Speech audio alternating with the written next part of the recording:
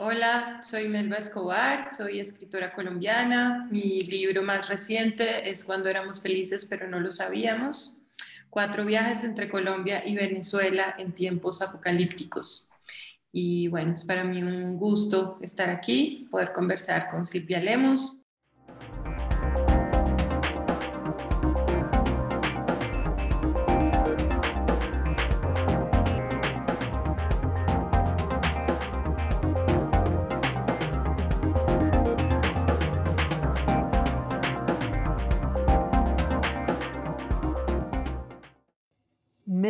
Escobar es una escritora colombiana, caleña, de Cali, una joven mujer apasionada, muy vital, con gran energía, y que hoy entrevistamos sobre dos novelas. Una es La mujer que hablaba sola y cuando éramos felices, pero no lo sabíamos. Melba, la mujer que hablaba sola, una mujer en soledad, tristeza, una mujer que al principio de muy niña dijo que no se iba a casar. Y decidió, sin embargo, ser madre soltera, que para un país como Colombia, países latinoamericanos, es eh, algo que puede ser problema para una señora joven. ¿Cómo fue tu decisión de escribir sobre esta señora? Bueno, Silvia, muchas gracias por esta entrevista y me, parece una gran oportunidad conversar contigo. He visto las grandes entrevistas que has hecho a lo largo de los años y me honra mucho hacer parte. Eh, bueno, la, la, protagonista de La mujer que hablaba sola es una mujer que se llama Cecilia Palacios. Cecilia Palacios es una mujer que eh, descubre que su hijo ha sido sindicado de poner una bomba en un centro comercial en Bogotá. Esto pasó realmente, esta bomba la pusieron en este centro comercial, eso pasó hace dos años largos. Yo de alguna manera me pregunté qué pasaría si uno fuera la madre, no de las víctimas, sino de los responsables del atentado, ¿no? Y me preguntaba por ese concepto de un amor que nunca se termina y que es infinito, ¿no? Y que no tiene límites y yo me preguntaba, en el caso de una madre que descubre que su hijo eh, puso una bomba, ¿no? Donde hubo muertes, eh, ¿cómo o hasta dónde se puede ver ese, ese amor eh, de alguna forma cuestionado, ¿no? Interpelado. creo que eso era de alguna manera lo que la, gran, el gran interrogante que se hace la novela, por un lado, es una novela creo que en gran medida sobre la maternidad, y sus enormes dilemas, pero también creo que es una novela sobre la maternidad no siempre libremente elegida, ¿no? En el caso de Cecilia Palacios, eh, eh, es una mujer que de cierta forma termina siendo madre casi que por una sensación de que ese es el deber ser de toda mujer, que creo que increíblemente después de tantas luchas feministas y demás, todavía hoy en día es algo muy constante, ¿no? Que las mujeres casi que asumimos todavía que, que nuestro papel en el mundo es ser madres, que es casi como nuestra misión en la tierra, que se asume que ese es un mandato divino. Eh, y un poco Cecilia Palacios, esta madre, cuando descubre esta noticia tan explosiva, literalmente, eh, se va a preguntar de alguna manera... Mm, por los orígenes de esa maternidad, ¿no? Y nos va a llevar en la historia a mostrarnos cómo, eh, cómo nació este hijo, de qué tipo de relación nació este hijo y cómo este es un hijo que de alguna manera ella tiene casi que como, como una forma de, de compensar un embarazo que había tenido con un amante antes, que termina en un aborto, y su forma como de redención con su esposo es tener un hijo, aún sin estar del todo convencida de que quería ni al esposo ni tampoco el hijo, ¿no? Entonces siento que, que hay una serie además de malentendidos que muchas veces están muy ligados al género. Eh, en este caso es muy claro en la mujer que hablaba sola, como ella, ella de cierta forma ya madura, descubre que nunca se hizo las preguntas esenciales, ¿no? Como hasta dónde quería ser madre, se lo preguntó cuando ya el hijo ya existía o hasta dónde esa era la pareja con la que hubiera querido construir su vida, ¿no? Como que todo se, fue llevando en este torbellino del juego de roles, de las mujeres y nuestros deseos a veces demasiado grandes por ser amadas, ser aceptadas, ser queridas, em, que creo que hace parte también de este monólogo de alguna manera quebrado de esta mujer. La tía Cecilia tiene algo que ver en su decisión para ser madre? Pues lo curioso es que la tía Cecilia, eh, que se basa en una gran tía mía que se llama Melba, de hecho, eh, se llamó, ya murió, pero mi tía Melba nunca se casó, nunca tuvo hijos y nunca salió de su casa, además. Después de la vida adulta se encerró y fue como una monja de clausura en su propia casa. Eh, y, de alguna manera yo siempre sentí que su, su decisión de vida, que fue un poco negarse a lo que se hubiera esperado de una mujer como ella, ¿no? Que se casara, que tuviera hijos, que etcétera. Eh, ella ella no, no, hizo nada de esto y esa fue su gran rebeldía, ¿no? Creo que en, en el caso de Cecilia también fue más una rebelde yo creo que el caso de la Cecilia joven o la Cecilia madre, que se recuerda a sí misma joven, eh, es una mujer que está pensando que, no sé, que, que, que, que, de alguna manera ella cede, como cedemos tantas o, como ha pasado tanto en la historia, a la tentación de de sentirse seguro, protegido en una casita con un perro y un niño y de alguna manera no hacerse muchas preguntas que van más allá, sino dejarse seducir como por ese cuento de hadas que llevamos como tan impreso en, el inconsciente, ¿no? Y Cecilia Palacios se siente realmente realizada con, con Pedro, pero su asombro y el impacto que tuvo la acción de Pedro la deja que continúe amando al hijo. Sí, yo creo que ella sigue amando a su hijo y yo creo que igual eh, nunca, nunca es del todo claro qué fue lo que pasó, ¿no? En, nunca sabemos del todo si realmente él es o no es culpable. Eh, curiosamente creo que es un libro muy vigente porque como quizás saben en México en Colombia estamos viviendo un momento muy tenso. Eh, llevamos ya muchas semanas de marchas y protestas y ha habido abusos policiales repetidos, ha habido excesos de autoridad, ha habido vandalismo también, ¿no? Hay como un exceso de fuerza eh, y mucha tensión y no es claro qué es lo que va a pasar. Digamos que hasta ahora ya están en una dinámica en la que una vez a la semana hay un paro nacional y eso deja muchas secuelas duras para la vida.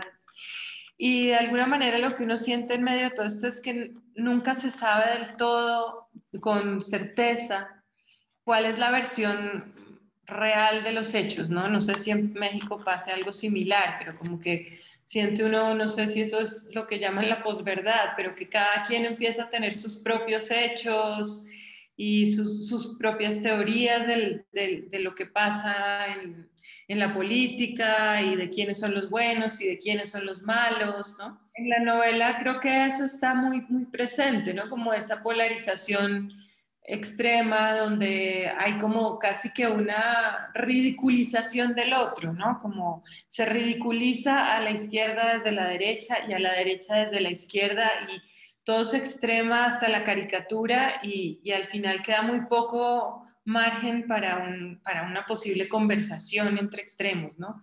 Eso es un poco lo que vemos en la novela y, y lo que de alguna manera vemos aquí ahora en Colombia.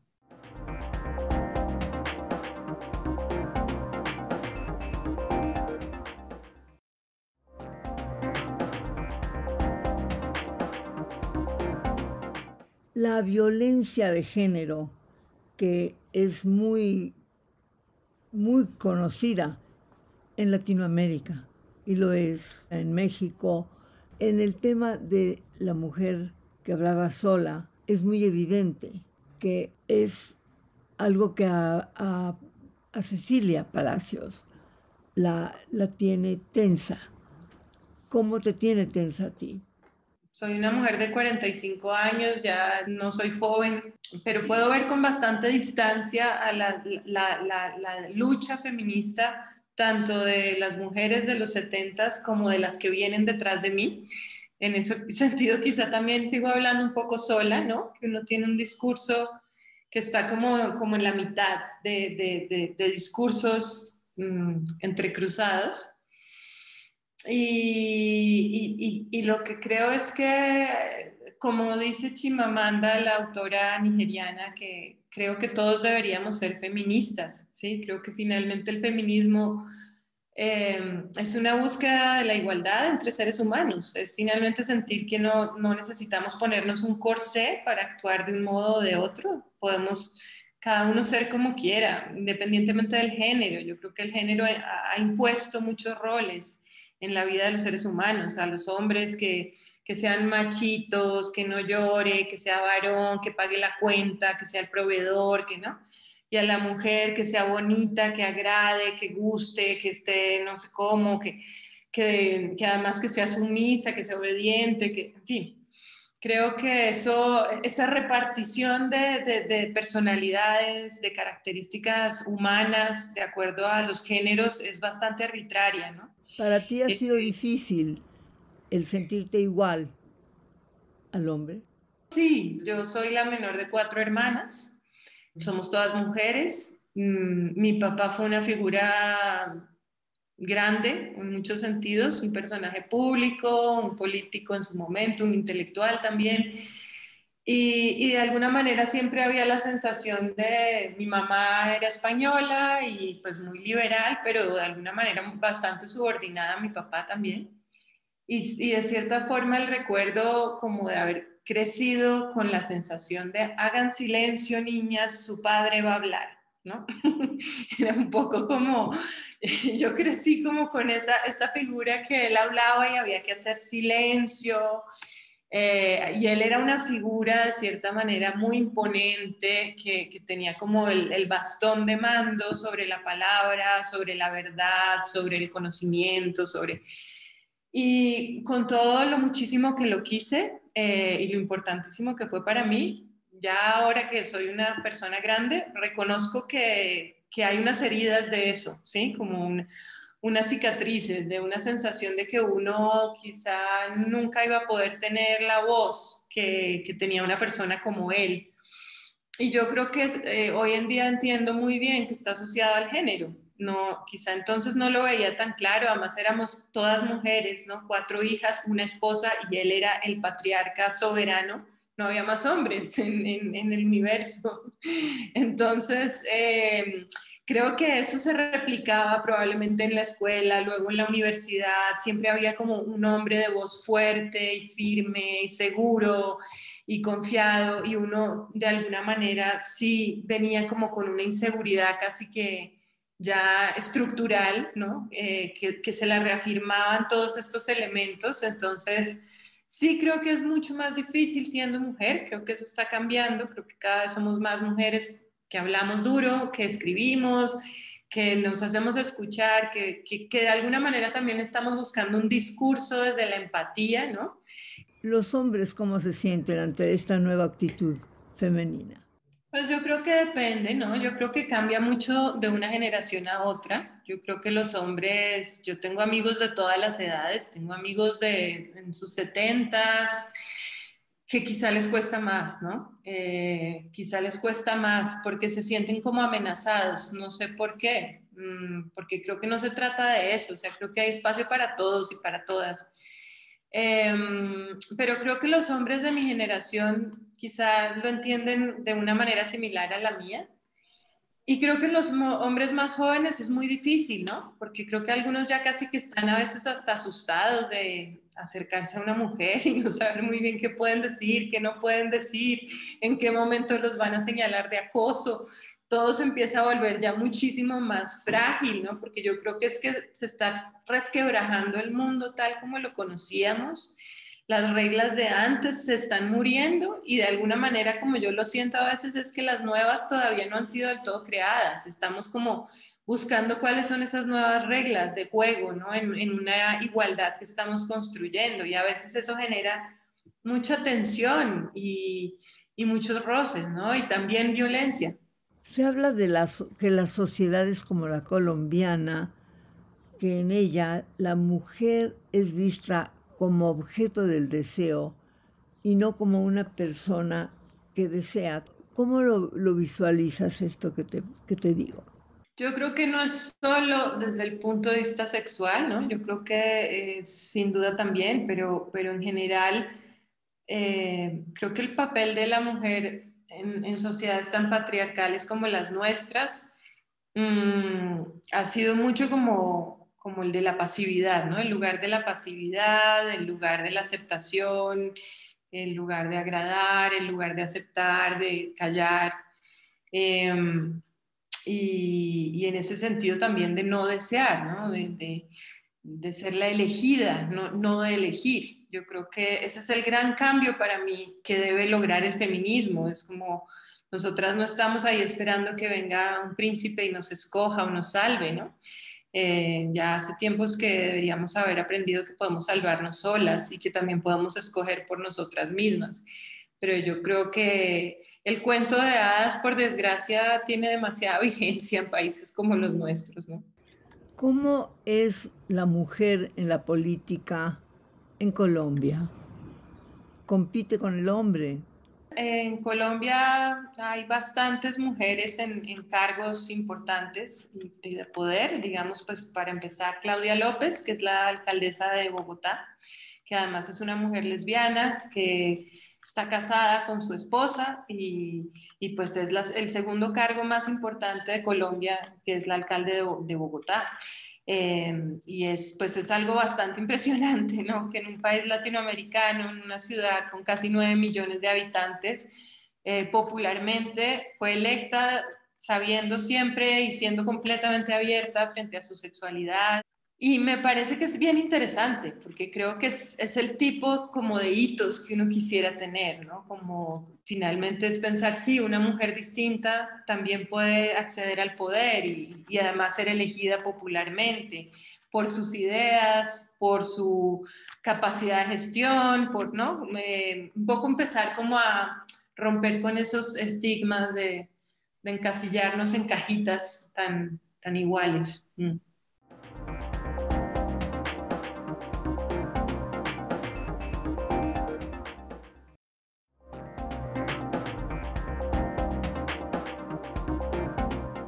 En tu novela hablas muy claramente del acto sexual.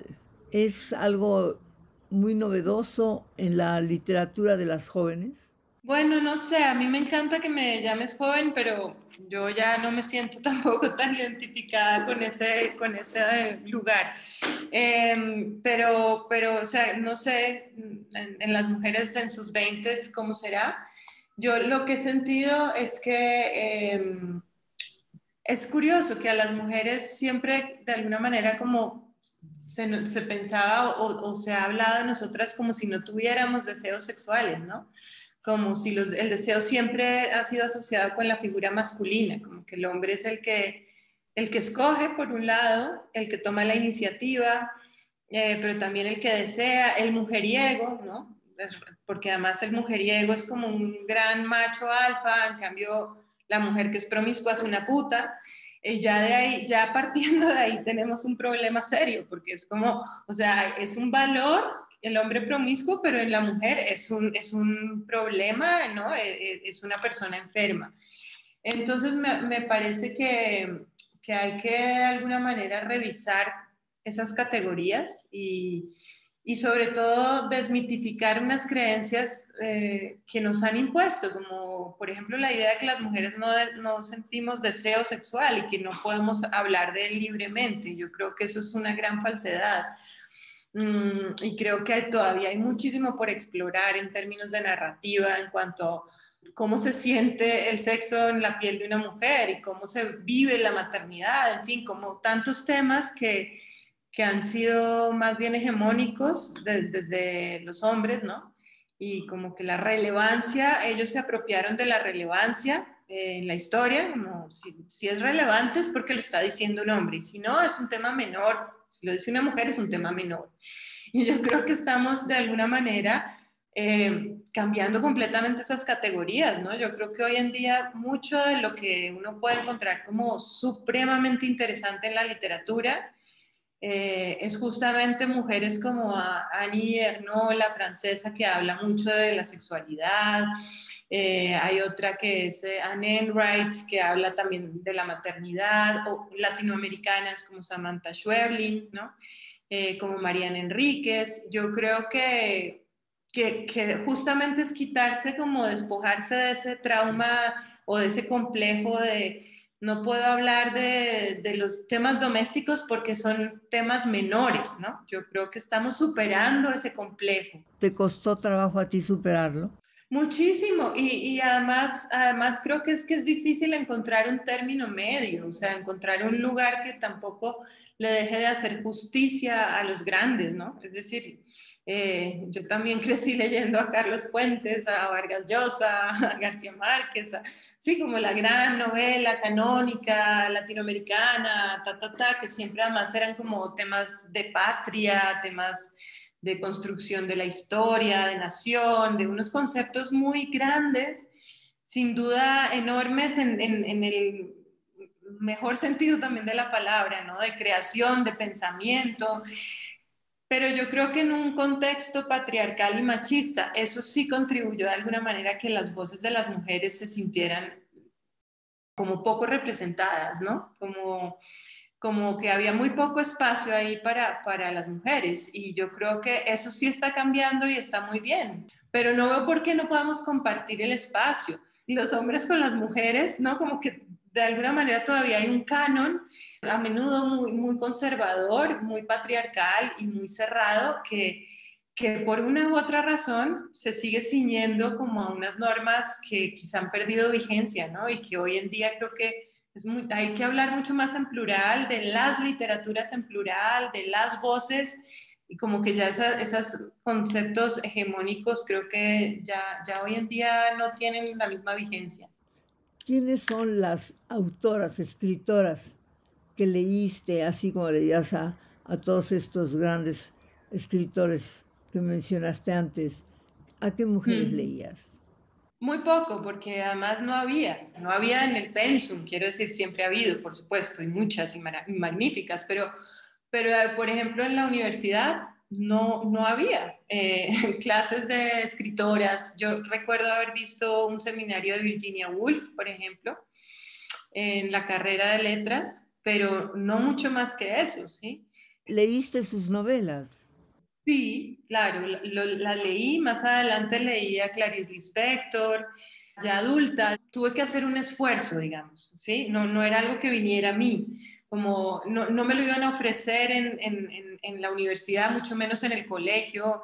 Eh, siempre la opción eran, la opción canónica era otra cosa y no había mujeres. Hubo que tener esa, esa iniciativa, hubo que ir en su búsqueda y hoy en día, por supuesto, pues he leído a Margot Glantz, he leído de las contemporáneas, como decía Samantha Schweblin, a Mariana Enríquez, ahora recientemente pues a una que es amiga también, que es Pilar Quintana, que se ganó el premio Alfaguara con los abismos y es la autora de La Perra. Eh, pero que por desgracia es algo que, que, tienes que salir a buscar, que tienes que hacerte la pregunta, eh, ¿dónde están las mujeres? ¿no? y, ir a buscar porque no, no, es, no es lo que está en la vitrina y no es lo que, es, lo que están ofreciendo en los cursos, etc. O sea que, que los hombres seguían dominando aún en la literatura.